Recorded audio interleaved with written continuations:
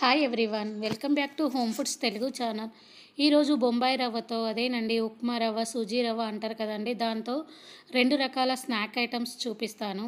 ఒకటి స్వీట్ది ఒకటి హాట్ది ఈజీగా ఇవి ఒక వారం రోజుల పాటు నిల్వ ఉంటాయండి.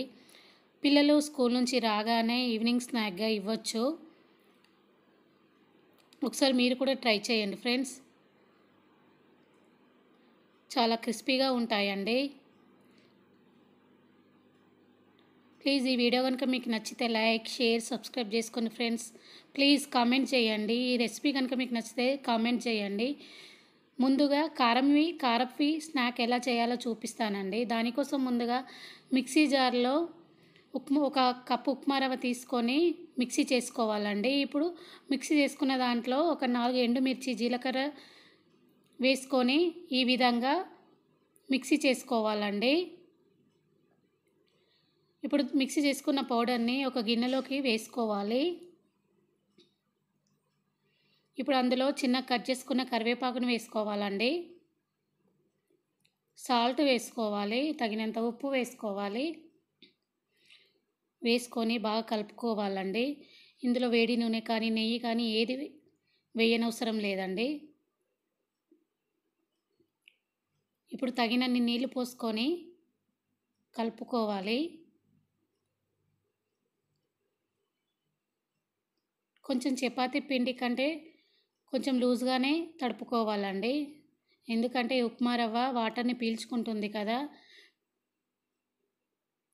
మనం పిండి నానబెట్టినప్పుడు కొంచెం గట్టిగా అవుతుంది. కొంచెం లూజ్గానే కలుపుకోవాలండి.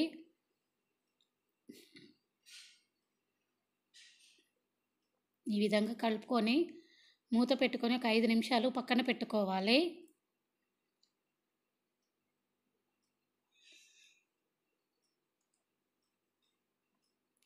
ఇప్పుడు పిండి సాఫ్ట్గా అయిందండి.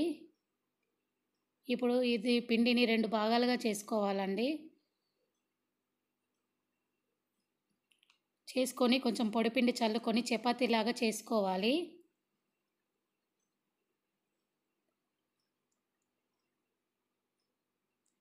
మరీ పలుచగా కాదు మరీ మందం కాకుండా చేసుకోవాలండి.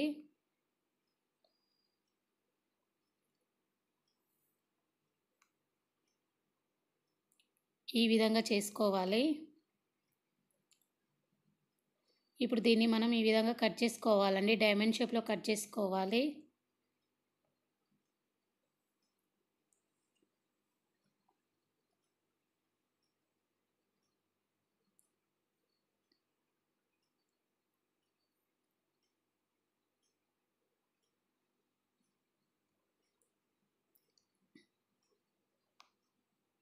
ఈ విధంగా కట్ చేసుకోవాలండి.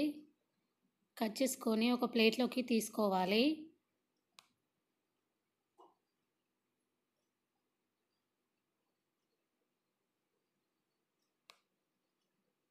ఈ విధంగా చాక్తో అనుకుంటా ఒక ప్లేట్లోకి తీసుకోవాలండి. ఇప్పుడు స్టవ్ మీద ఒక ప్యాన్ పెట్టుకొని అందులో ఆయిల్ వేసుకొని ఆయిల్ హీట్ అయిన తర్వాత మనం చేసుకున్న చిప్స్ని ఇందులో వేసుకొని ఫ్రై చేసుకోవాలండి. మీడియం ఫ్లేమ్ మీదనే ఫ్రై చేసుకోవాలి.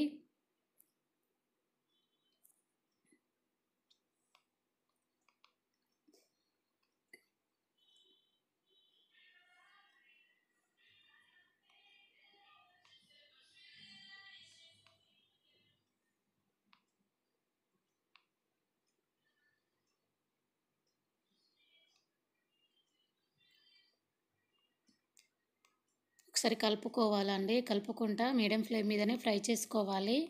చూడండి ఎంత బాగా పొంగుతున్నాయో. మనం ఇందులో వేడి నూనె కానీ ఏది కానీ వేయలేదండి. అయినా ఈ చిప్స్ కరకరలాడుకుంటూ వస్తాయి. పిల్లలు ఎంతో ఇష్టంగా తింటారండి. ఇవి బ్రౌన్ కలర్ వచ్చే వరకు ఫ్రై చేసుకోవాలండి. ఇప్పుడు ఈ విధంగా అయిన తర్వాత ఒక టిష్యూ పేపర్ కానీ చిల్లుల గిన్నెలో కానీ వేసుకోవాలండి. అన్నిటినీ ఈ విధంగానే ఫ్రై చేసుకోవాలి.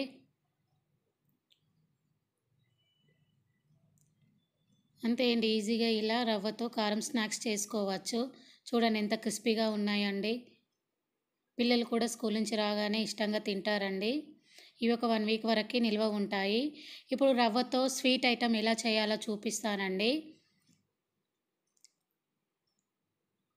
ఇవి చాలా చాలా బాగుంటాయండి. ఈజీగా కూడా కష్టపడకుండా ఈజీగా చేసుకోవచ్చు. ఇప్పుడు రెండోది రవ్వతో స్వీట్ ఐటెం ఎలా చేయాలో చూపిస్తాను.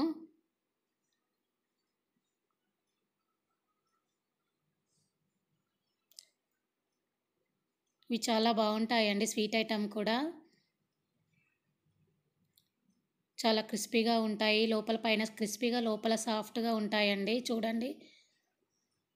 పిల్లలు కూడా ఇవి ఇష్టంగా తింటారు.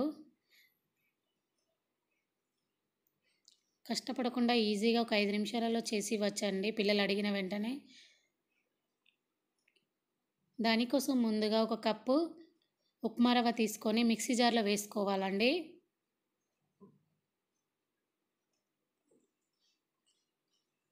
మిక్సీ జార్లో వేసుకొని ఈ విధంగా పౌడర్ పట్టుకోవాలండి. ఇప్పుడు ఇది ఒక గిన్నెలోకి తీసుకోవాలి పౌడర్ని.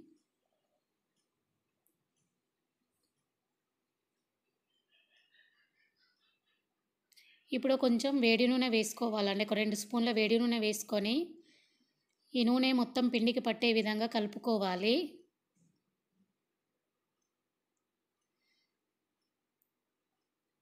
నూనె అంతా పట్టేలా. నూనె కానీ మీరు నెయ్యి కానీ ఏదైనా వేసుకోవచ్చండి. అంత పట్టే విధంగా కలుపుకొని చేతికి తీసుకుంటే ఇట్లా ముద్ద కావాలండి. అట్లయితే పర్ఫెక్ట్గా ఉంటుంది. మంచిగా క్రిస్పీగా వస్తాయి. ఇప్పుడు ఇందులో తగినన్ని నీళ్ళు పోసుకొని కొంచెం లూజ్గానే కలుపుకోవాలండి దీన్ని కూడా. ఎందుకంటే ఉప్మా వాటర్ని పీల్చుకుంటుంది కాబట్టి కొంచెం లూజ్గానే కలుపుకోవాలి. మనం నానబెట్టుకున్న తర్వాత పర్ఫెక్ట్గా మంచిగా చపాతి ముద్దలాగా అవుతుందండి.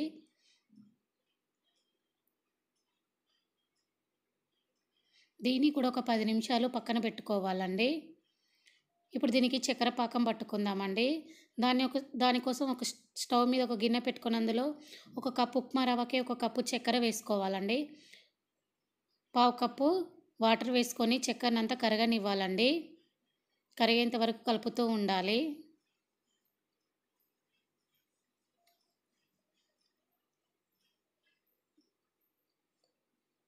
దీన్ని తీగ పాకం పట్టుకుంటే సరిపోతుందండి. మరీ ముదురుపాకం రానవసరం లేదు. ఇప్పుడు చక్కెర కరిగిన తర్వాత ఇందులో మనం ఇలాచీ పౌడర్ వేసుకుందాము.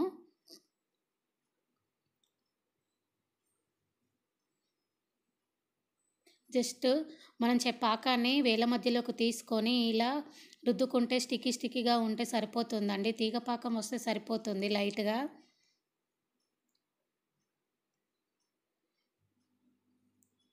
ఇట్లా అతుక్కుంటే తీగ పాకం వస్తే సరిపోతుంది.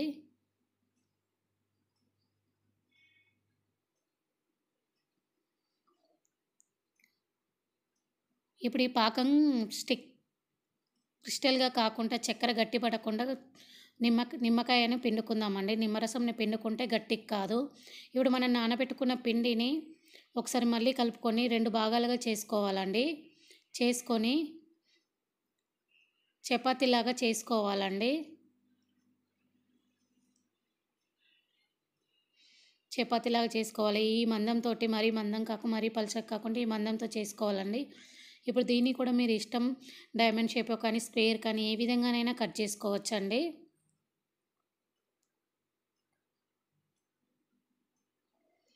ఇప్పుడు మనం ఆలోపు స్టవ్ మీద ఒక గిన్నె పెట్టుకొని అందులో ఆయిల్ వేసుకుని ఆయిల్ హీట్ కానివ్వాలండి. ఈ విధంగా రెండో వైపు కూడా కట్ చేసుకోవాలండి.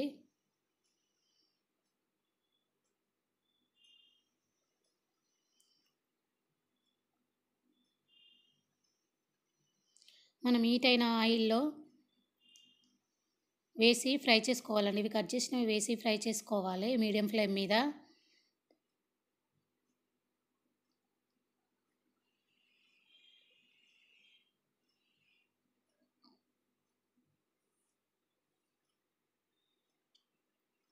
చూడండి ఎంత మంచిగా పొంగుతున్నాయో ఇవి. ఇవి కూడా బ్రౌన్ కలర్ వచ్చేలాగా ఫ్రై చేసుకోవాలండి. ఇప్పుడు ఈ బ్రౌన్ కలర్ వచ్చిన తర్వాత వీటిని తీసి మనం ఈ చక్కెర పాకంలో వేసుకోవాలండి.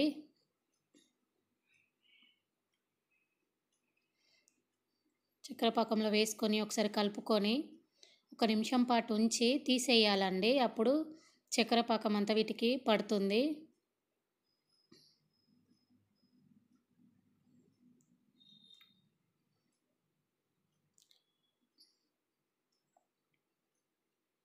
వీటిని ఒక గిన్నెలోకి తీసుకోవాలి.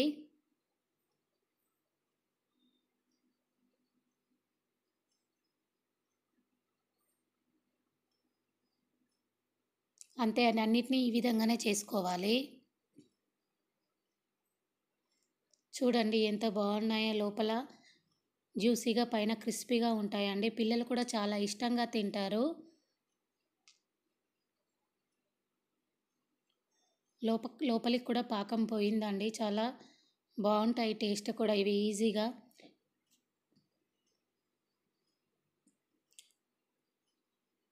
ఈ విధంగా రవ్వతో రెండు రకాల స్నాక్ చేసుకోవచ్చు అండి.